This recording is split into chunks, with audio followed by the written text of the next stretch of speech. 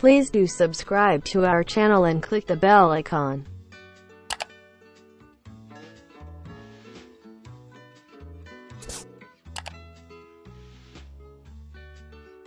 Solo एक 2017 द्विभाषी संकलन film है, जो मुख्य भूमिका में दुल्हन सलमान के साथ, बेजोए नाम बिहार द्वारा निर्देशित और निर्देशित है, मलयालम और तमिल में एक साथ शूट किया। नवंबर 2016 में प्रोडक्शन शुरू हुआ। सोलो चार अलग अलग लोगों की कहानी बताता है। प्रत्येक कहानी चार विभिन्न तत्वों पर घूमती है। पृथ्वी, अग्नि, पवन और जल। प्रत्येक भगवान शिव के विभिन्न पहलुओं के साथ फ़िल्म रिलीज़ हुई थी पाँच। अक्टूबर 2017 को तमिल और मलयालम दोनों दुनिया भर में एक दुर्घटना के बाद एक घायल शेखर सड़क पर है। हम चार साल पहले लाए थे, जहाँ शेखर एक तरह का एक मुखिया छात्र अपने सबसे अच्छे दोस्त पट्टू सोबिन शाहिर और गिरोह के साथ संज को मारता है। एक छात्र संज को इस मुद्दे पर पीटा जाता है कि शेखर के दोस्त नेल्सन और संजू उसी लड़की राधिका धनसिंका से प्रेम कर रहे हैं, जो अंधा है, एक स्वतंत्र उत्साही नर्तक राधिका ने उन्हें दोनों कहकर खारिज कर दिया कि वह शेखर को प्यार करते हैं, महसूस करने के बाद कि उसका प्यार सच है। शेखर उसके साथ प्यार में पड़ा। जाता है, चार साल बाद राधिका के भाई श्रावण ने उनके रिश्ते को बाधित किया। दोनों परिवार रिश्तों पर चर्चा करने के लिए मिलते हैं और राधिका से पता चलता है कि शेखर के बच्चे के साथ गर्भवती होने के बाद हर किसी को धक्का लगता है। राधिका के परिवार शेखर को उसे देखने नहीं देते, लेकिन बाद में दोनों उनके परिवारों की सहमति से शादी करते हैं।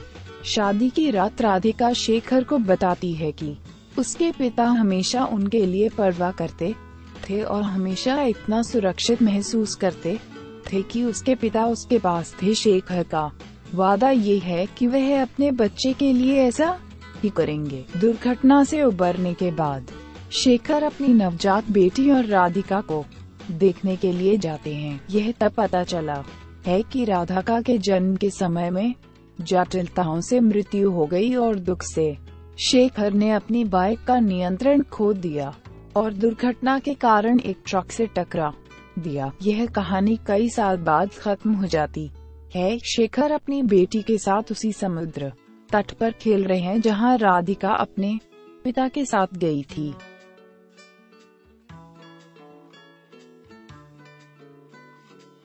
कहानी आयशा के साथ शुरू होती है, जिसका चक्र बीएमडब्ल्यू के साथ टकरा जाता है, जो एक अमीर व्यापारी थॉमस जाचिरिया द्वारा संचालित होता है। जेरिया का बेटा जस्टिन उसे बचाने का फैसला करता है, लेकिन जकरारी ने कहा कि उन्हें नशे में ड्राइविंग के लिए गिरफ़्तार किया जाएगा। जस्टिन उसे किसी भी तरह से कार में डालता है और अस्पताल ले जाती है, लेकिन आयशा रास्ते में मर जाती है।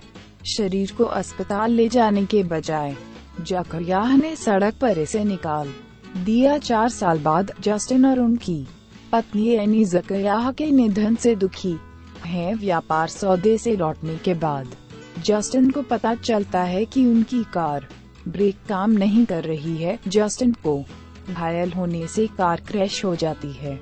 लेकिन वह एक पशु चिकित्सक सर्जन डॉ त्रिलोक मेनन द्वारा बचाया जाता है। जैसे त्रिलोक जस्टिन के साथ अस्पताल ले जाते हैं। जस्टिन तेहोले की कार में आयशा की एक तस्वीर देखती है और पता चलता है कि वह उनकी पत्नी थी।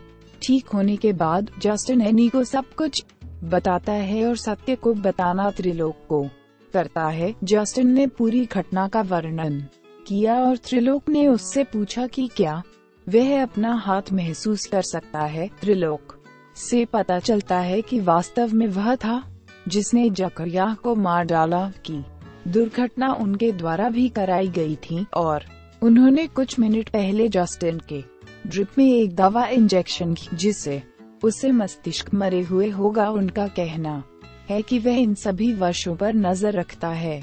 और उसने सब कुछ सुना है, जो जाचिरिया और जस्टिन ने आयशा के ब्लूटूथ ईयरबड्स के माध्यम से इस घटना के दौरान कहा था कि वह गर्भवती थी और अभी भी जीवित थी। त्रिलोक तो जस्टिन को मरने के लिए कमरे से बाहर निकलता है।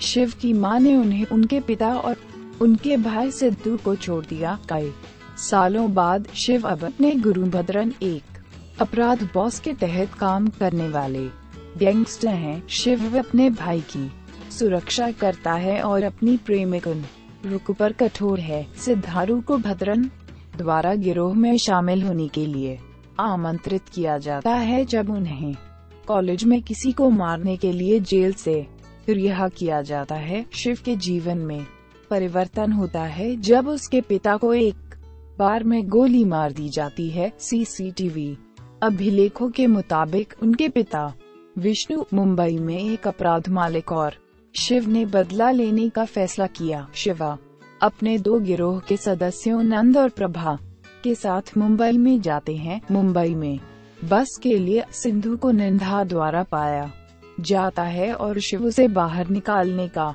प्रयास करता है, लेकिन नंदा उसे रहने की अनुमति देता है मुंबई पहुँचने पर। शिव विष्णु को लेने के लिए गैंगस्टर के साथ संबंध बनाते हैं। अगली रात शिव और गिरोह विष्णु पहुँचते हैं और एक गोलीबारी शुरू करते हैं, जिसमें प्रभा और कई अन्य मारे गए हैं। शिव विष्णु के गिरोह के लगभग हर सदस्य को समाप्त कर देता है और सिद्धू बच जाता है और शिव को दौड़ने के लिए ही उन्हें देखने के लिए विष्णु ने मार डाला। सिद्धू और नंदे भागने और अपने ठिकाने, होटल तक पहुँचने का प्रबंधन करते हैं। अगली सुबह सिंधु नंदा की बंदूक लेती है और विष्णु के घर जाते हैं। केवल अपनी माँ को देखकर वह विचलित हो जाता है जो अब विष्णु की पत्नी है, यह पता चला है कि यही कारण है कि विष्णु शिव और सिद्धि के पिता की हत्या करते थे। इसने शिव को मार डाला जैसा कि विष्णु कमरे में प्रवेश करता है, सिद्धू उसे मारता है और उसकी माँ उसे भागने के लिए भीख मांगती है। कहानी दो आखी सिद्धू के साथ समाप्त होती है, जो मुंबई की सड़कों पर चलती है।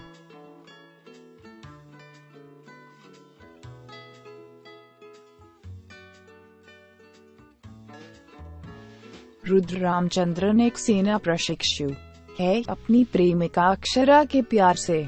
पागलों की तरह वह अपने घर में एक दृश्य बनाकर अक्षरा के शादी के प्रस्तावों को लगातार खंडर कर रहे हैं। रुद्र भृग्य का बेटा है रामचंद्रन और विद्या जो हमेशा अपने आक्रामक व्यवहार के लिए उन्हें डांटते हैं, लेकिन उनके पिता हमेशा उन्हें एक मित्र मानते थे।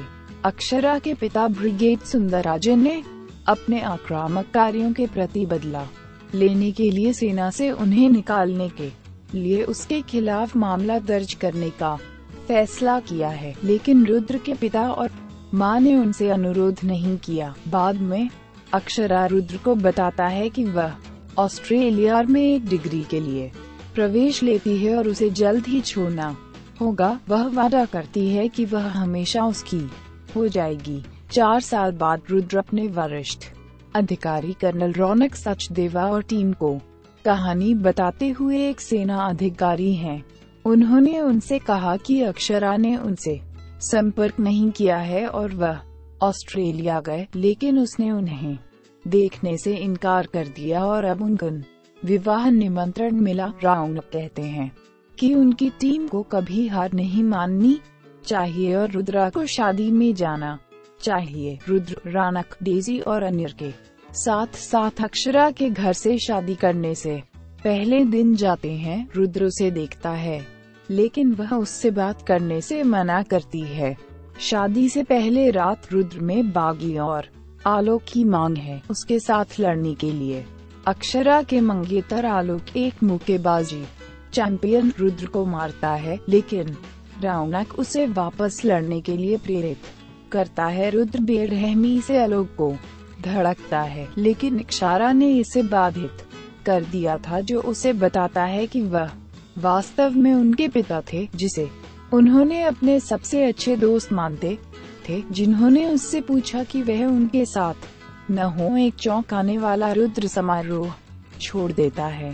बाद में उनकी माँ ने उन्हें बताया कि जब उनके पास दो साल का था और उनके माता पिता तलाक के कगार पर थे, तब उनके पिता का एक और महिला संबंध था, यद्यपि वह अपनी शादी के खातिर रुक गया था।